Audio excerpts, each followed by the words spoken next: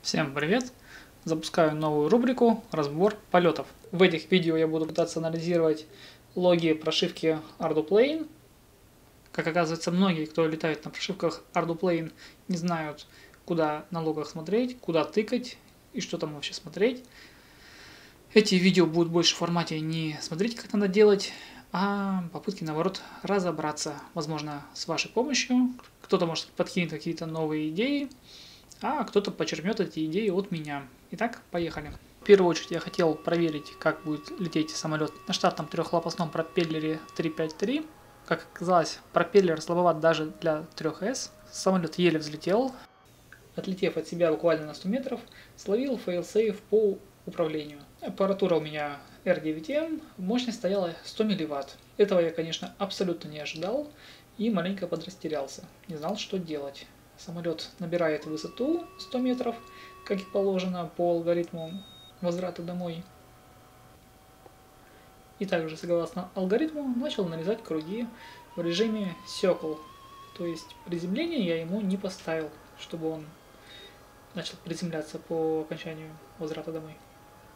Видя, что все относительно в порядке, решил попытаться поднять мощность передатчика до 500 мВт. Это дало эффект, и я смог достучаться все-таки до полетного контроллера, до приемника, сменить режим и попытаться его подтянуть к себе поближе. Когда я его подтянул к себе поближе, связь стала более устойчивой, и мне удалось его посадить. Как оказалось, причина была в том, что отошел разъем приемника R9MM. Прям в поле получилось его починить, прикрепить и новый взлет. Вообще основная цель у меня была попытаться его проавтотюнить при настройках AutoTune Level 7 и AutoTune Level 8. Начал, конечно же, с AutoTune Level 7. При взлете он у меня зачетно помахал крылышками. Давайте посмотрим этот момент на графиках, что там будет видно. Так, загружен этот файл журнала. Первое, что смотреть, от чего отталкиваться, это раздел ATT и DesRoll, так как у нас были махания по роллу и roll. Увеличиваю график и вижу как раз вот эту пилу, когда он махал крыльями. Тут у меня пресеты маленько заготовленные. Давай вот их загружу. То есть у меня отцентрованы. Да, кстати, по поводу программ, в которых можно смотреть логи. Их две. Это Mission Planner и APM Planner. Что-то удобнее смотреть в Mission Planner, а что-то в APM Planner. В данном случае я использую APM Planner за его такую потрясающую возможность Advanced Scaling. То есть я могу любой график отмасштабировать как мне угодно. В данном случае параметры масштабирования следующие от минус 45 до 45 градусов. Отлично. Видим, что самолет махает крыльями. Но из-за чего это? Следующее, что можно посмотреть, это параметр PID-R. Тут есть следующие графики. P и D составляющие PID регулятора. И выглядят они следующим образом. Я их, пожалуй, отмасштабирую, объединю в одну группу, чтобы они были одинаково отмасштабированы. Тогда и график именно цвета сменю, потому что все сливается. Пускай будет темно-синий. Да. Вижу, что максимальный разброс от 50 имеет показатель D. Что это может значить? Это может значить, что параметр D у меня был завышен. Но с другой стороны, больше такие осцилляции нигде в логе у меня не встречаются. Даже там, где активно работал стиками во время автотюна или просто управлял самолетом, такого не было. Ну тут не, не надо смотреть, тут он просто лежал на машине и его ветер колбасил. Вот, больше не было таких дерганий. Я принялся копать дальше, и похоже, что-то накопал. Сейчас я уберу P и D и выведу следующие величины. а это именно воздушную скорость, то есть синтетическую воздушную скорость, поскольку датчика воздушной скорости у меня нету. И выведу скорость по GPS. И уровень газа.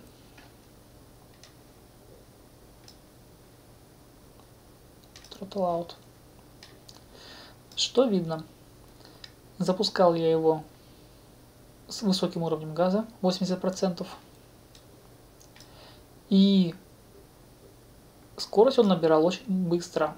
Как видно, в момент, когда он начал дергать, скорость по GPS была в районе 60-70, около 70 км в час, что в принципе и видно по ОСД. Но при этом воздушная скорость была очень низкая, синтетическая воздушная скорость. Она была в районе 3-4 метров в секунду. Это 15 примерно 16 километров в час. То есть разница огромная. И как только воздушная скорость стала как-то коррелироваться со скоростью по GPS, эти осцилляции, махания, они пропали у меня складывается впечатление, что скалирование пидов привязано именно к воздушной скорости. То есть воздушная скорость низкая, и коэффициент этих пидов был намного больше, а реальная скорость была намного больше. В итоге пиды получились на выходе слишком высокие. Опять же, повторюсь, происходит это именно в момент запуска, когда инерциалка еще нормально не работает. Баг это или фича, я не знаю, но с ней приходится мириться. Поскольку пиды сильно занижать неохота, потому что в основном самолет ведет себя очень таки прилично. Вот такая вот находка. Немножко полетав, решил все-таки запустить автотюн. Если кто не знает, автотюн на самолете выполняется следующим образом. Включается полетный режим автотюн, и далее необходимо отклонять до крайних точек стики по питчу и по роллу. Необходимо совершить как минимум 15-20 таких колебаний. Сначала по одной оси, потом по другой. Также необходимо следить за текущей скоростью самолета. В идеале, чтобы именно воздушная скорость самолета была выше скорости сваливания. Потому что если летишь по ветру, то скорость, которая отображается на УСД, не совсем корректная, так скажем. Все, автотюн по закончил. Теперь делаю новый заход и буду делать автотюн уже по питчу. Вот тут я его делал неправильно. Я перестарался и дергал стики слишком агрессивно, не дожидаясь того момента, когда самолет достигнет желаемого положения по питчу.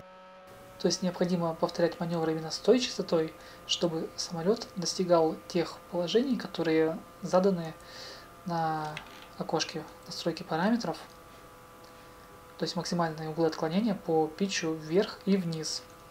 Итак, переходим в логи и смотрим, что же там получилось с автотюном.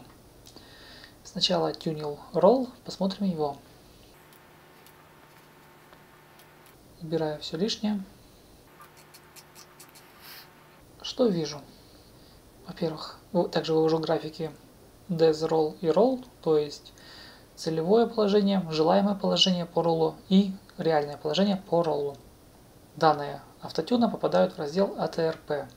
В данном случае P – это текущая величина P, которая используется при автотюне. Сейчас я сменю ее цвет.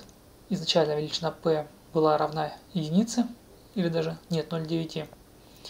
И в процессе автотюна она понижалась. То есть алгоритм считал, что происходит перекомпенсация. То есть величина p была слишком большая, и он ее занижал. Также вместо desRoll и roll можно использовать demanded achieved, то есть, ну, собственно, тут, видимо, и кроется объяснение, почему значение p понижалось. Demanded – это та скорость изменения курса, которая была запрошена, так скажем, а achieved – это та скорость изменения самолета, которая реальная получилась.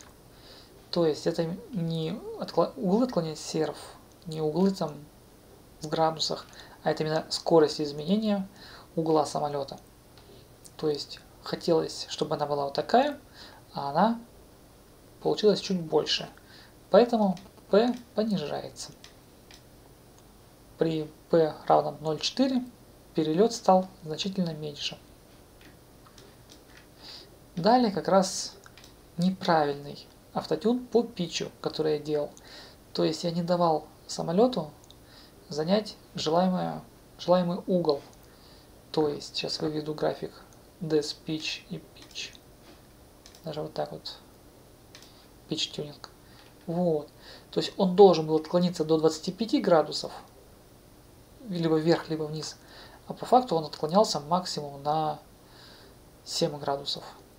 7,5 градусов. Да. Примерно так. Из-за этого автотюн по питчу не сработало слово совсем. Поэтому нужно именно дожидаться того момента, когда самолет все-таки примет то положение, которое указано в настройках. В идеале, конечно, чтобы это делал все автопилот, потому что человек может косячить, как вот я накосячил. Не знаю, почему самолет так именно тюнится, потому что коптер, допустим, он сам отклоняется на тот угол, который ему требуется, а вот самолет приходится вручную крутить. Почему? Не знаю. Сажаю самолет и готовлюсь запустить автотюн с, с параметром автотюн level 8.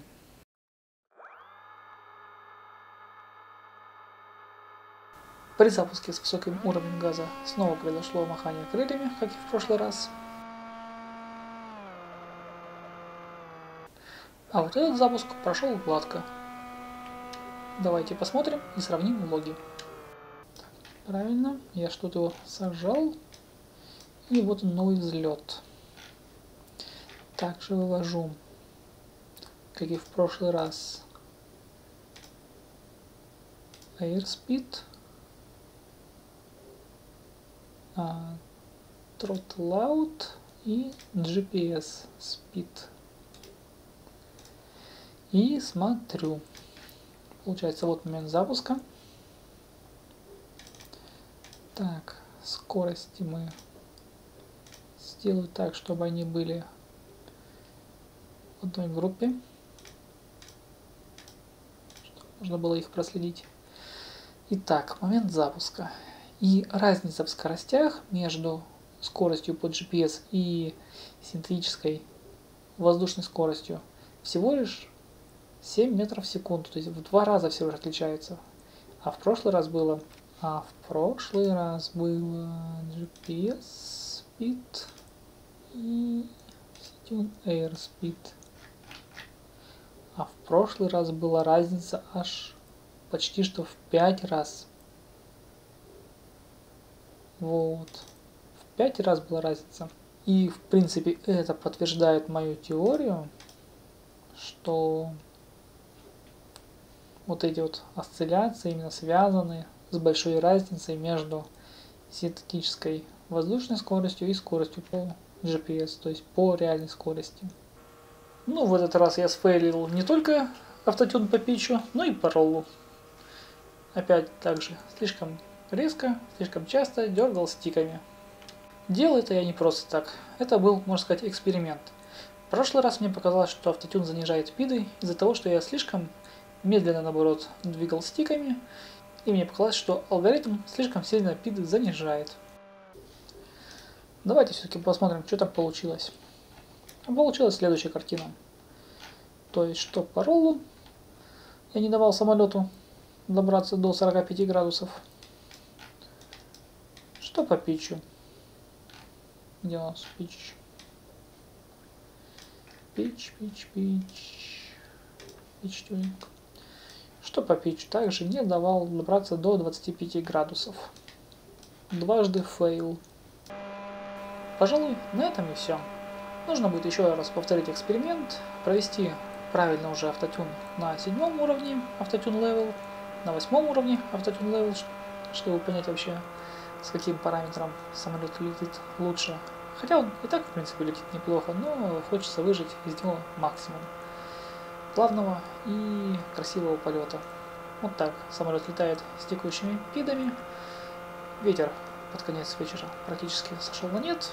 До этого были небольшие порывы, и видно его подколбашивало. А когда ветер совсем исчез, стало видно, что он летает очень плавно. Также в этот вечер я еще выгулял четырехминутового друга, но это уже другая история. Надеюсь, данный формат был вам интересен и познавателен. Если есть какие-то советы, пожелания, ссылки на какие-то полезные видосы по поводу анализа логов, пишите, пожалуйста, в комментариях. Буду рад любому фидбэку.